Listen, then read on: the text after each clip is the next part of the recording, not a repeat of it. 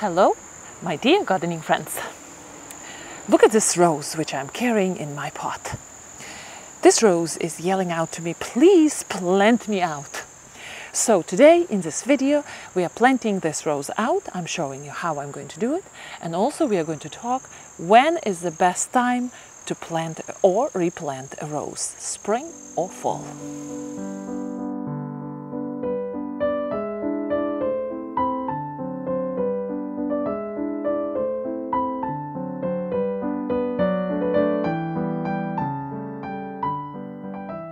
So when is the best time to plant a rose or replant a rose? Well, the answer is it all depends where you live. The root system of replanted rose needs to be well adjusted before cold weather comes. And if you're living in the colder areas where uh, falls are fairly short and winter is fairly severe, the recommendation is to plant it in spring. The marginally better time would be a springtime to plant a rose. But if you're living in a warmer climate where falls, the autumn is fairly long and winter is not severe, the root system of the plant has plenty of time to get adjusted and have a very strong start next spring. So for people who live in warmer climates, the answer would be that marginally, only slightly marginally better time would be fall. So we answered that question. It depends where you live. And since I live somewhere I would consider myself, I live somewhere in the middle. We do have strong winters. I live in zone 6-7, coastal Connecticut, and our falls are beautiful here. Connecticut is famous for marvelous maple display, uh, beautiful yellow and burgundy and orange colors of the fall. Our uh, autumns are fairly long. Last frost day, I believe, is somewhere in uh, borderline uh, October, November. So we do have a nice chunk of time of comfortable weather to plant and do all sorts of replanting and reorganizing in our garden. Weather is fairly good in the fall here and I consider that fall is a great opportunity to introduce and reorganize the garden. So today we are planting this rose out. A little bit about this rose. Look at her. She's very happy here, but she can't wait to get out of this fairly small pot. It's a gift which was given to me by uh, Cami, one of the viewers, and she sent me this rose as a little uh, baby this spring. This rose sat in this container for several months and now she's ready to go out. The name of this rose is Peggy Martin Rose and it's a tough surviving rose. I'm planning to introduce her, I will be showing you later, in a kind of tricky space in my garden where she will be serving a lot of functions. And because I'm relying on this rose tough nature, I'm thinking she will thrive there. Why is this rose having such a tough nature? Well, this rose comes with a history. In 2005, when big flooding happened in Katrina in US, this rose, just imagine, spent two weeks underwater, under salty water, mind you, and survived. And don't look at this small size of this rose. She is a strong um, uh, climber, reaching 15. She's not really a climber. She's a rambling rose, but she can reach up to up to 15 uh, feet high. And I think my spot where I'm planning to plant her is quite good for her. So let's go and see and I will show you where I'm doing my planting today. Here we are at the back of my garden, facing the house from the back. And this area in front of us is dedicated to, this patio is dedicated to evening dinners. We have strong morning sun here in this area and the evening is shaded by the house. So time for dinners is just perfect here we this area here is shared by several plants. On one side here we have my beautiful generous gardener roses growing here, performing very well. In maybe four hours of uh, morning sun, they do get shade here in the afternoon. And since this rose is thriving here in morning sun, mind you, morning sun is always better for the plants, uh, when you look lower at the base of plants, you will see that there are two roses growing on both sides and one of them is growing fairly close to the foundation of the house. I kind of uh, was risking that plant, my generous gardener, this baby rose is not going to thrive here, but it does. So let's go to the back and let's see what's happening here. So as you can see, I took bricks out. I created a deep, fertile pocket for rose roots to thrive there. And I installed uh, the border made out of uh, wood, wooden border to keep bricks intact. And I wasn't really sure how this rose is going to behave here, but she's thriving here. So my plan is the same with uh, Peggy Martin rose. I'm going to do the same uh, routine right here at the back of the table. And here at the back of the table we have wooden stack. We have fireplace at home, so we keep uh, wood for winter. I'm going to move that wooden stack all the way to another side, right there under the, under the uh, wall of our house, of our outside uh, sunroom. And here I uh, was keeping this uh, uh, rack for all sorts of pots and all sorts of gardening stuff. And this area was looking very not attractive. So I got away with it. This area is very serviceable area. You see we have a hose here. I keep a bucket here to keep water in. So I'm kind of not liking this area to be so um, so messy all the time. So I took all that stuff out and I'm planning to put my wood here to keep wood away from the ground. I don't want the wood to get, um, you know, to get wet during winter. Plus we have this um, sliding protection for the wood here from the wall. That would be extra protection for wood to, to stay fairly dry for our fireplaces in winter. So that stack will be gone and in, in the middle between these two windows, I'm planning to plant my rose out right there near the wall, not too close to the wall, maybe a foot and a half from the wall, because I don't want wall to get uh, mildew and all sorts of problems from uh, strong leaves of my Katrina rose.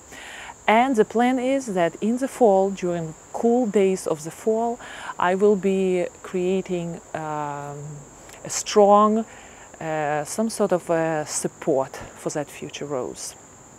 Now this area is very open, uh, very sunny in the morning and uh, I do have some issues with the yellow color of our house. I'm slightly getting tired of it, but you know, you can't just do this and the color of the house is changed. So what I have to do, I have to reimagine all this area just imagine Katrina rose growing there at the background. This area would be so much better, I believe. Now you see on one side of the table, I do have my sedums growing here. Somebody was asking how much sedum light, uh, how much light sedum needs and how it performs in semi-shade.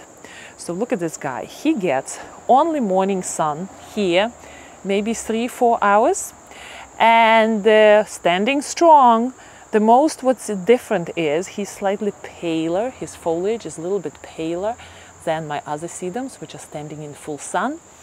But this sedum, which is autumn joy sedum, not all sedums take life in pots very easy. This sedum is the best. Look at this, semi-shade and thriving under several hours of morning sun.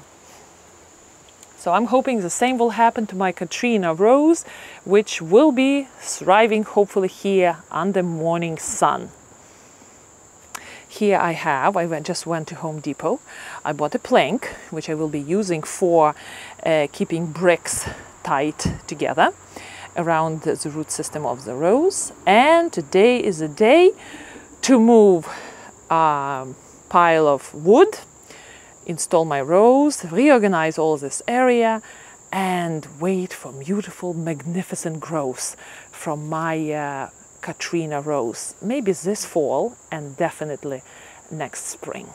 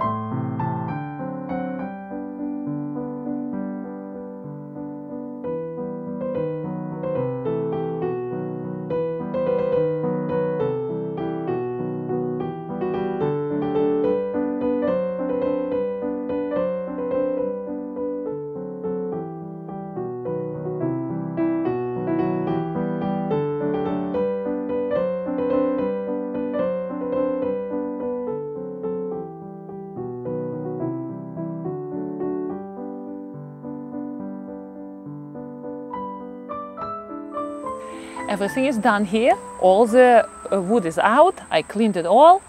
So now I'm going to lift the bricks one at a time and let's see where we stand with this. Now the center, I know that the center is right here. I measured it out already. And again, I'm not going to move the last two bricks which are separating the wall will be separating wall from uh, my rose um, bed.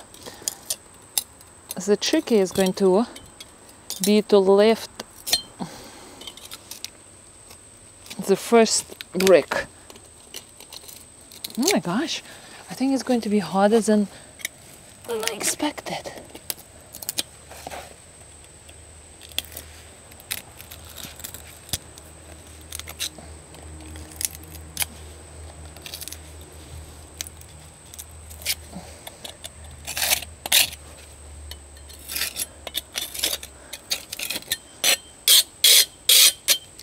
These bricks are not cemented, so they shouldn't be difficult to lift.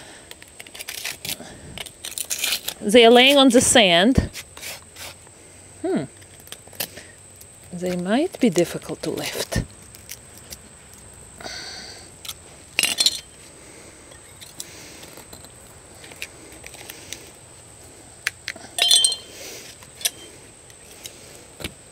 All right.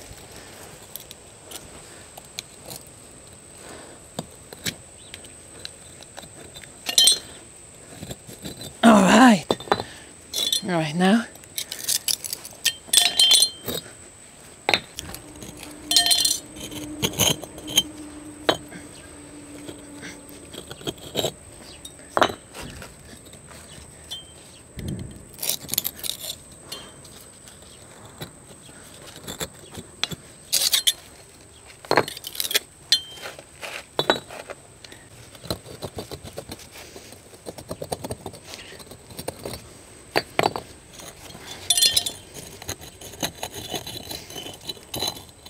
Okay.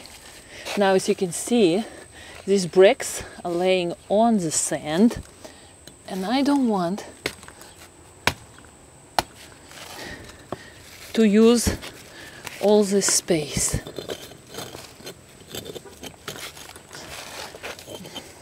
The center is here, so I'm going to take only this space and I will take.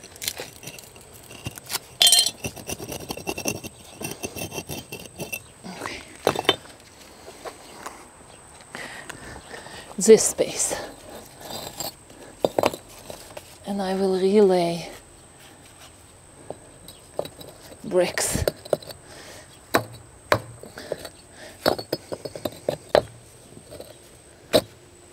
All right.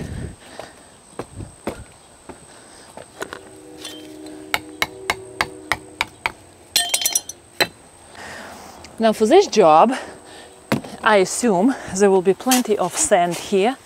Yep, all the sand. Bricks are laying on the level of sand. I think I'm going to save this sand. I don't want to throw this sand away.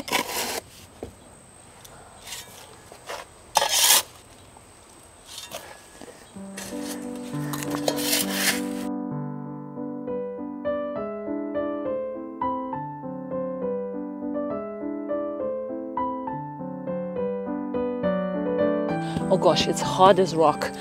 Before the bricks were laid on it, yeah.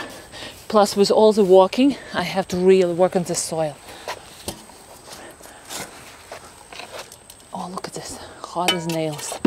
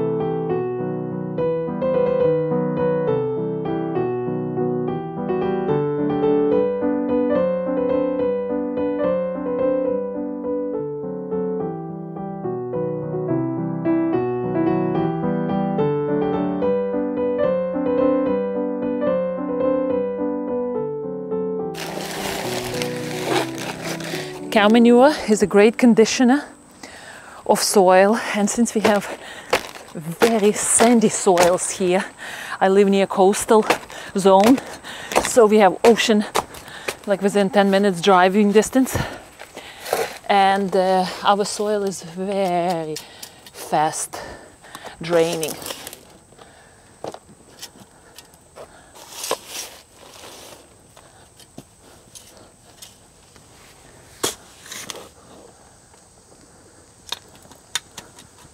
So basically I'm mixing, trying to do 50-50 of cow manure and soil and let the roots of the rose decide what she wants to do here.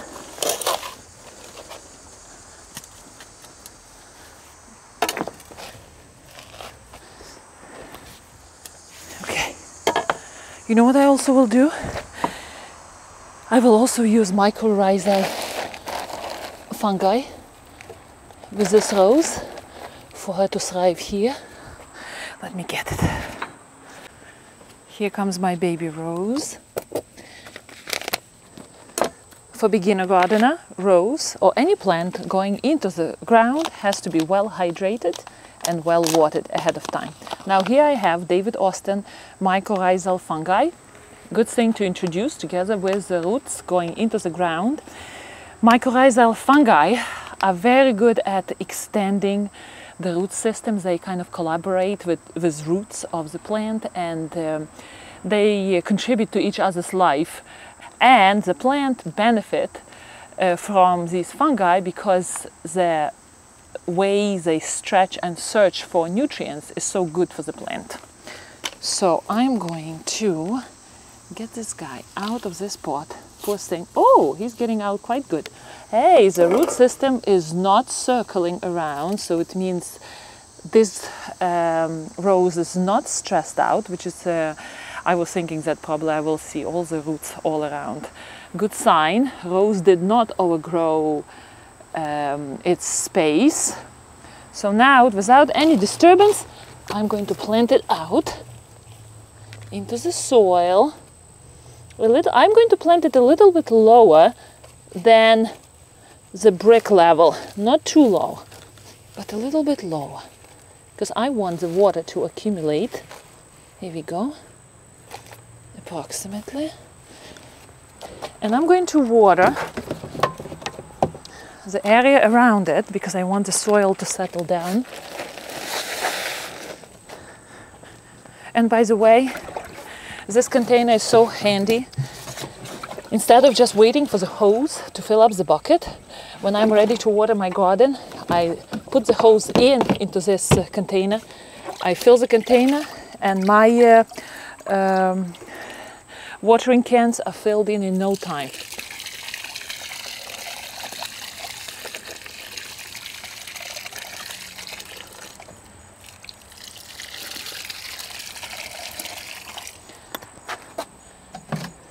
My soil is very sandy. It will take literally no time for it to disappear, for water to disappear. What do you say? And I will put these guys up, direct them up, and they will start growing. Hopefully.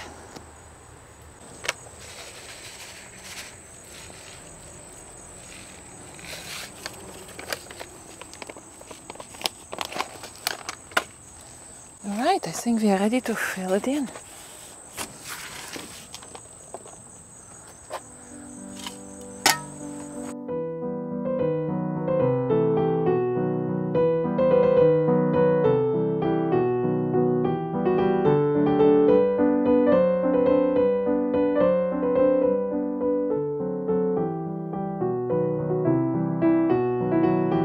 Before I finish planting my rose, I want to do a frame here, wooden frame, which will keep all the bricks intact and will prevent them from sliding in and making a big mess here.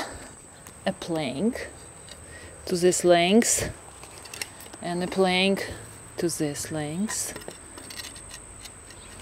Now I'm going to measure approximately.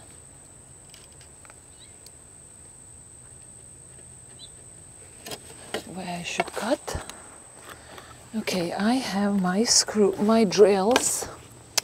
I'm using these planks, I'm using screws here, whatever I have. This happens to be drywall screws and they're not really for strength. I'm just make sure that these things are not going to slide.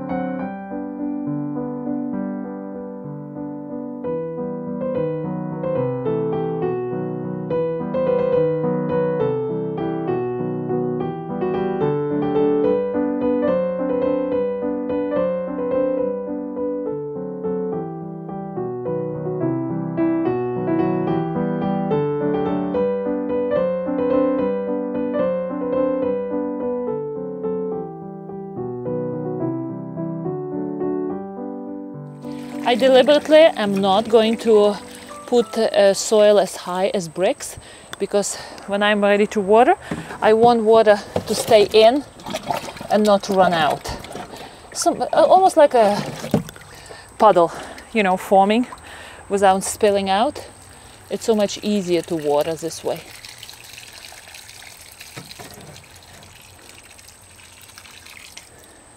The white wood will age and will blend in with all the other construction. And you know what? I have a funny feeling that this rose needs to be protected from rabbits. Because look at this. You see this skinny growth here? I think this was eaten by the rabbits. And I always kept this rose at the patio, so rabbits didn't like to go there. And then for one night, I put this rose down, and look what happened. So I'm afraid that rabbits might want to get hold of this, so I will install some sort of a little cage here, just for the time being. And you know what I'm going to do? I'm going to cut this space, this shoot out, because it looks diseased, this one out too, and Rose will be relying on these shoots to keep growing.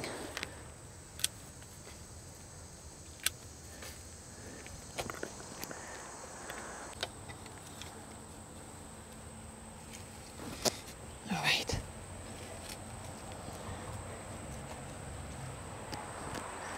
These plants are a lot of work. But you know what? Once this rose starts blooming, I am sure it's going to be magnificent. And looks like she is a fast grower, you know? All right, baby. Hopefully rabbits are not going to touch you now. And you will have a chance to develop some sort of a stem system here in the fall. Now, mind you, this arrangement is temporary. I'm going to build something here more permanent, install bottom protection, kind of more of a permanent, but that is for the fall. Meanwhile, this will have to do, and this rose will hopefully thrive here. All right, that's it. Job is done for today. Uh, I think that's it. I'm going to clean up and have a siesta because right now is the middle of the day. As you can see, no sun here. My generous garden is catching just a little bit of sun. It's the last one for the day. And uh, my rose is planted. That's it for today. Thank you for watching. I will see you next time.